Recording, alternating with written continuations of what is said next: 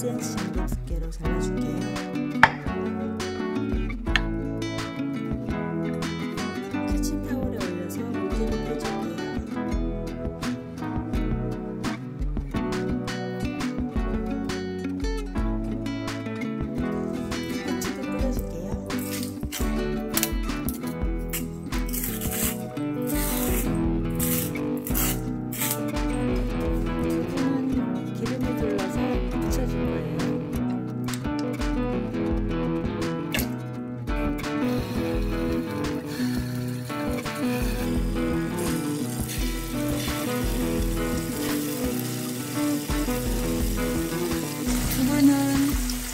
앞면은 노릇노릇하게 지져주면 돼요. 고기가 지져지는 동안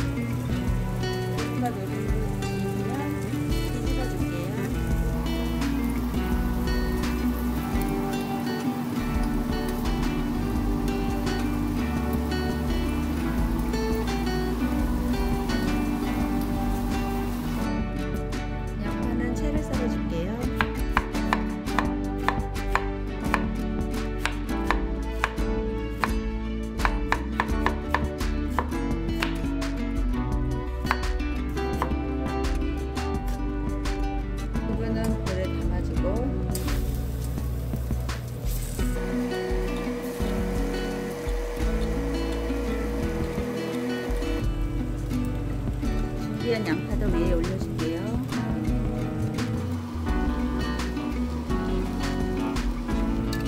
양념장은 그 위에 소주 올려줄게요.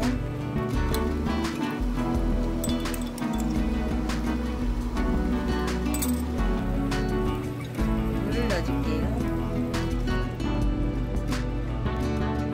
이렇게 해서 끓여주기만 하면 돼요.